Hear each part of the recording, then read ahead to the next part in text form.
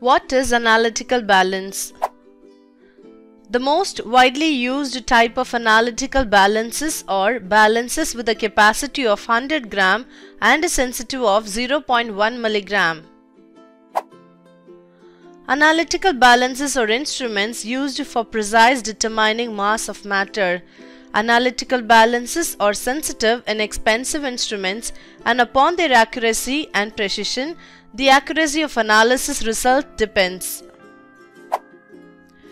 The measuring pan of an analytical balance 0.1 mg or better is inside a transparent enclosure with doors so that dust does not collect and so any air currents in the room do not affect the balance's operation. This enclosure is often called a draft shield. The use of a mechanically vented balance safety enclosure which has uniquely designed acrylic airfoils allows a smooth turbulence-free airflow that prevents balance fluctuation and the measure of mass down to 1 microgram without fluctuation or loss of product.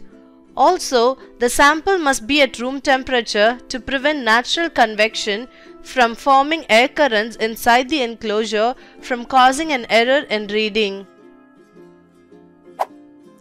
Triple beam balance Triple beam balance is an instrument used to measure mass very precisely. The device has reading error of plus or minus 0.05 gram. The name refers to the three beams including the middle beam which is the largest size, the front beam which is the medium size and the far beam which is the smallest size. The difference in size of the beams indicate the difference in weights and reading scale that each beam carry. The parts of the triple beam balance are identified as the following. Weighing pan, the area in which an object is placed in order to be weighed. Base, the base rests underneath the weighing pan and can usually be customized to fit on a workbench or set up with tripod legs.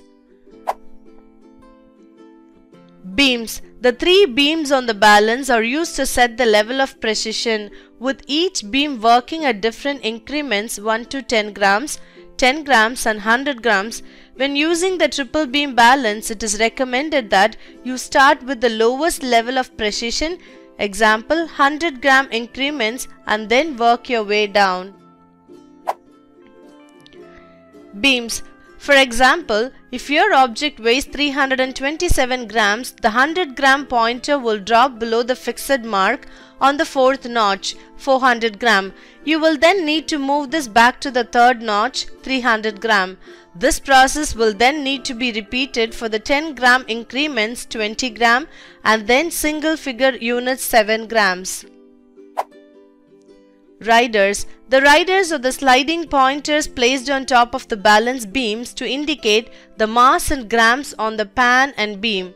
Pointers The scale pointer marks the equal point of the object's mass on the scale and mass on the beam. Zero adjustment knob. This is used to manually adjust the triple beam balance to the zero mark. Check to ensure that the pointer is at zero before use. Can you memorize what is analytical balance? Analytical balances are instruments used for precise determining mass of matter. Analytical balances are sensitive and expensive instruments and upon their accuracy and precision to the accuracy of analysis, result depends.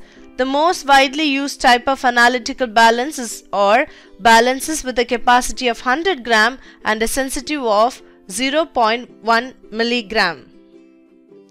For inspiration, I can't change the direction of the wind, but I can adjust my sails to always reach my destination. Jimmy Dean